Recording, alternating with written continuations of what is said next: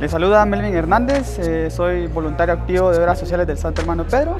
Hoy estamos en un taller de trabajo de Juventud de Trabajo Social en el cual eh, el objetivo principal ha sido eh, compartir nuestras experiencias entre diferentes organizaciones dentro del área de voluntariado. Hay que tener empatía y sobreponerse en los pies de los demás para poder darnos cuenta de lo que realmente vamos a hacer y de transformar vidas. Pero no solamente transformamos vidas a las demás personas, sino que ellos, nos, ellos ayudan a que nosotros transformemos nuestras vidas.